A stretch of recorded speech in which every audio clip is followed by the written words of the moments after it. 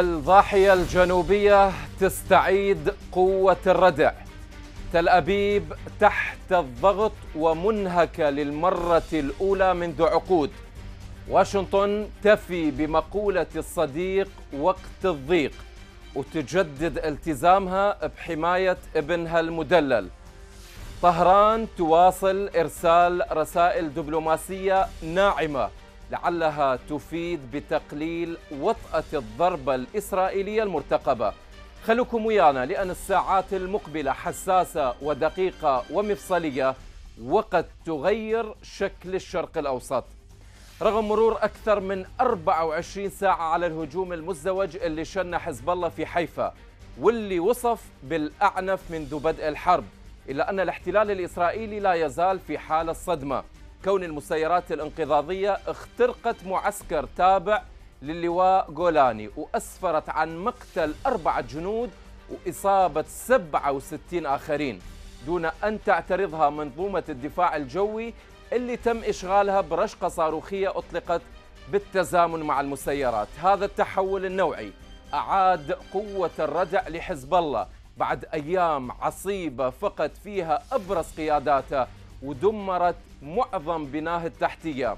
الأهم هو أن مثل هذه الهجمات كشفت عن ثمار ما كان محور المقاومة يعول عليه ألا وهو استنزاف منظومة الدفاع الجوي الإسرائيلية اللي كانت توصف بأنها الأكثر تقدما في العالم.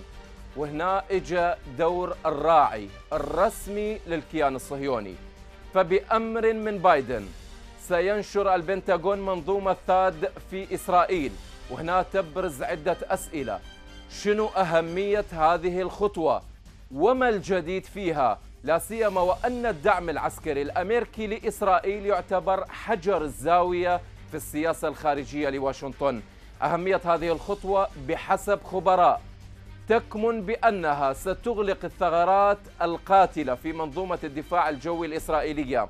كما أنها تشير إلى أن الرد الإسرائيلي على إيران بات وشيكا كون منظومة ثاد اللي تلقب بصائدة الصواريخ مختصة باعتراض الصواريخ البالستية اللي تمتلكها إيران وقادرة على اعتراض الأهداف داخل الغلاف الجوي وخارجه تحسبا لأي رد فعل إيراني متهور. زين هل نشر منظومة ثاد بطواقمها الأمريكية جزء من المغريات اللي قدمتها واشنطن لتل أبيب في مقابل تخفيف حدة ردها على إيران؟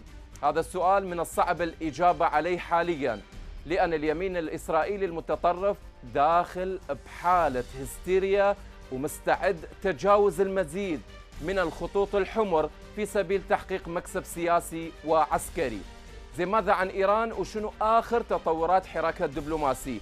حسب آخر التسريبات فإن إيران نقلت رسالة للولايات المتحدة مفادها أنه إذا اقتصر الهجوم الإسرائيلي على أهداف معينة فإنها لن ترد وهذا يؤكد تسريبات سابقة كشفت أن جولات بزشكيان وعرقشي المكوكية هدفها التخفيف من حجم الرد الإسرائيلي. حياكم الله.